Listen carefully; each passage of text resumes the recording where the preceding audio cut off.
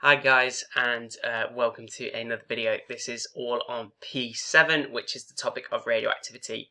In this topic we look at the three main types of radiation which is alpha, beta and gamma and we look at how we use radioactivities for really important uses and also some of the dangers that are associated with radioactive power. Also now I'm making resources for my channel so please check the video description in order to see some resources that I'm making for my channel. And remember if you haven't already please subscribe to the channel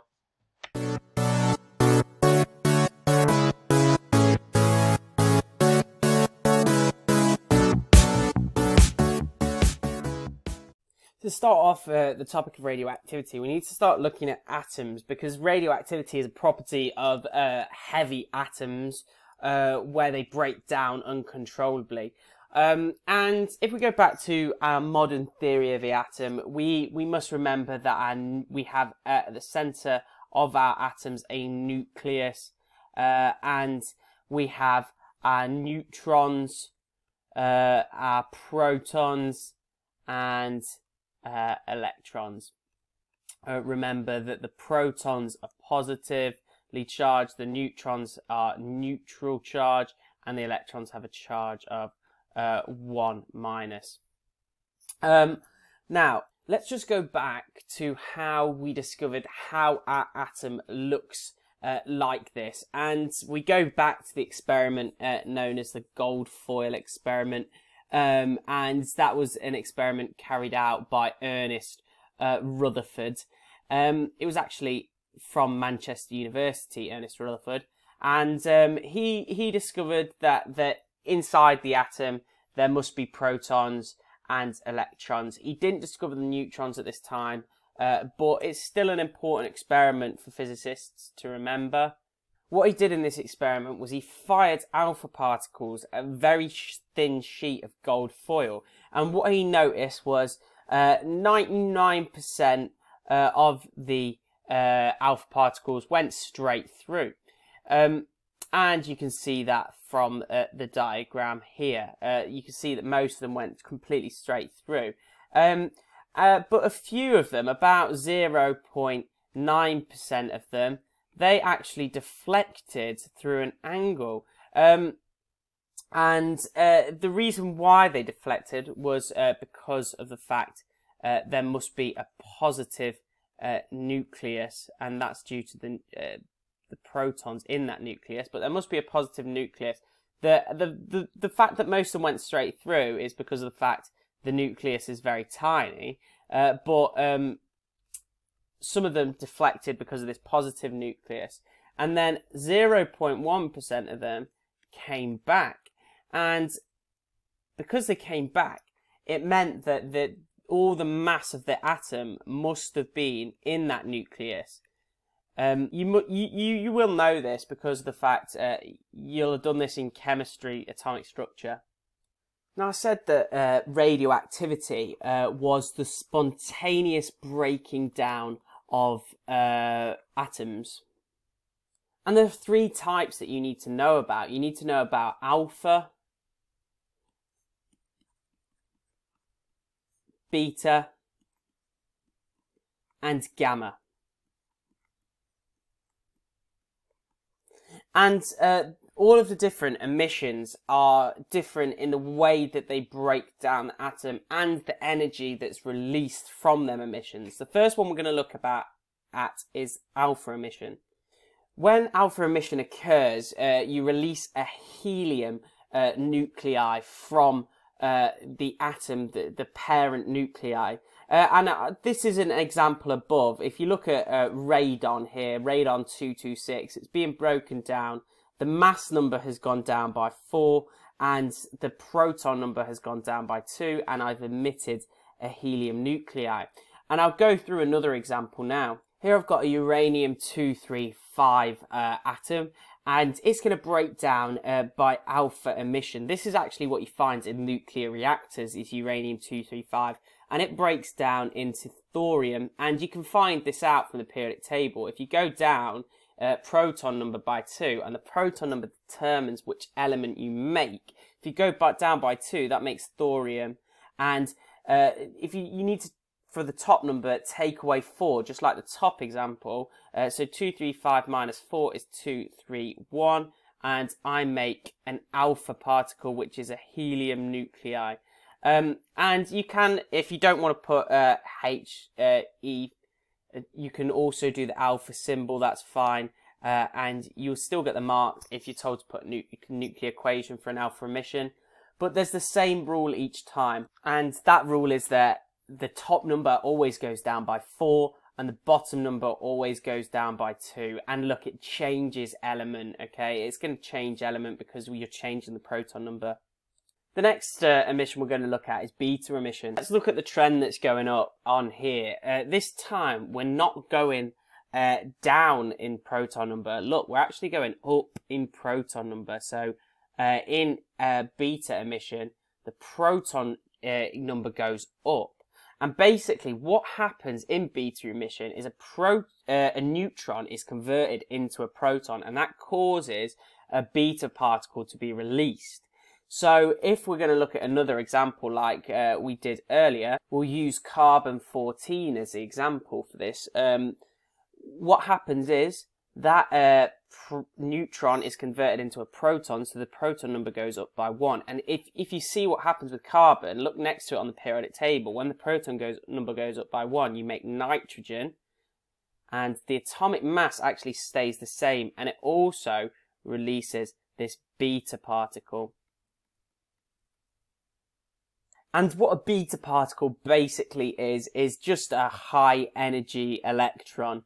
Um, and you can see uh, with this uh, particle that's been emitted, uh, it has a minus one uh, proton number because of the fact it just balances out that equation. Let's just put the rule again uh, down here. So if you've got uh, x and it's equaling to a and B. Let's just keep it like that.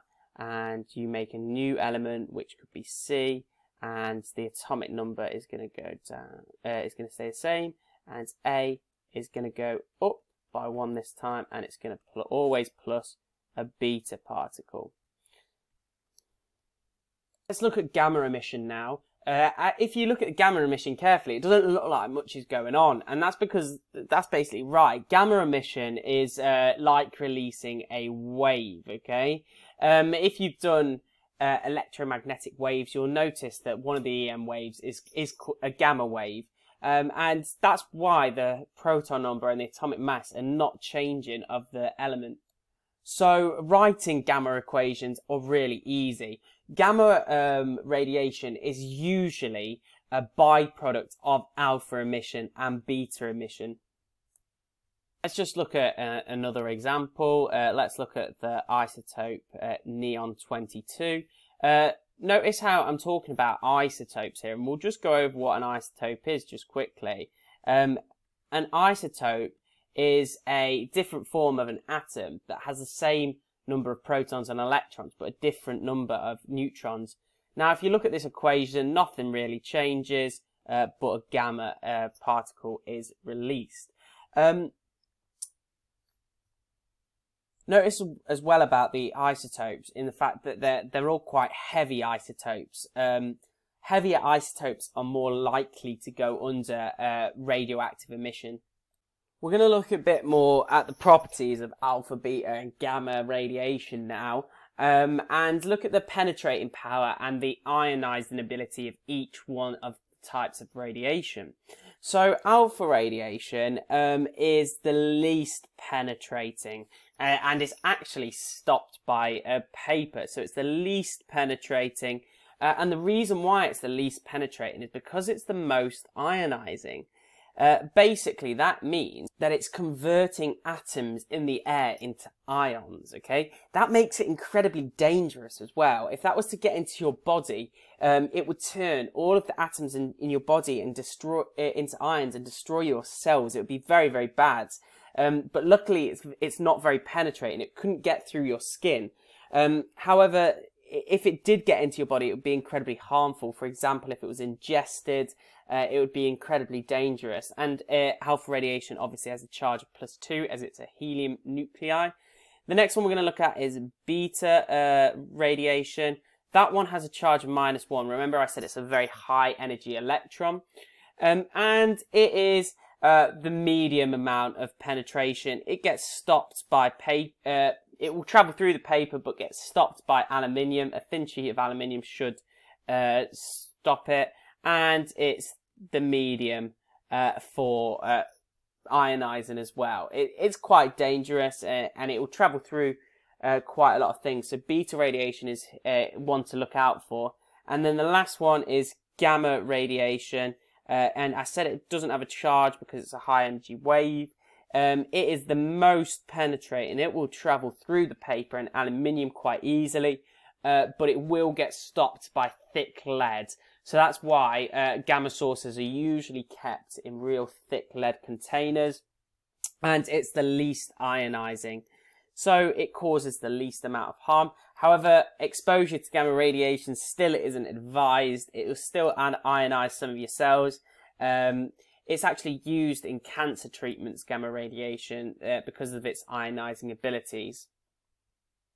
Although radio, uh, radioactivity is a spontaneous process, the time required for half the nuclei to decompose is always the same, and this is called the half-life. Here I've drawn a typical half-life uh, graph um, with time on the x-axis and number of radioactive nuclei in thousands on uh, the y-axis. So this is the number of radioactive nuclei. Um, and if we look at how long it takes for that to half, so we've got a thousand radio, um, yeah, a thousand radioactive uh, nuclei here, and if we go down here to 500 radioactive nuclei, if we go down to there, we notice that it takes two minutes for it to half. So the half-life of uh, this uh, isotope would be two minutes.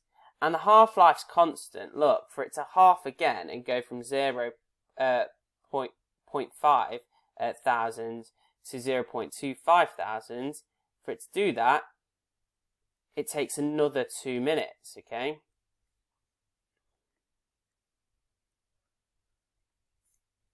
So it's constant, the half-life. And we can use half-lives to predict how many uh, nuclei we're going to have after a certain amount of time. For example, uh, if we know that the half-life of this nuclei is two minutes, and say we started off with uh, 20,000 of these radioactive nuclei, and you said that how much nuclei will be left after uh, 10 minutes. Well, you can see that uh, for 10 minutes to occur, you must have had five half-lives. After one half-life, you'll have a half.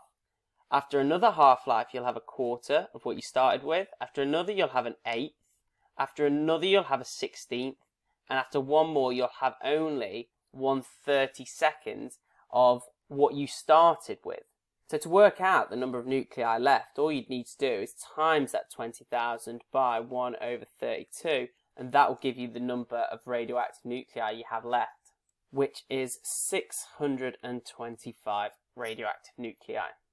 If you are doing combined science, uh, you have finished for this topic. Uh, if you are doing triple science and GCSE physics, uh, you just have a small little bit of the video to go. Well done to combined science uh, people for finishing and getting towards the end of the video. We use radioactivity um, around the world in order to meet our energy needs. And we use reactors uh, called nuclear fission reactors. And they work basically uh, through alpha emission um, of uranium-235. Uh, we looked a bit at what the what the equation for that reaction looked like. Um, and when uranium-235 uh, goes under this alpha emission, it starts off a chain reaction.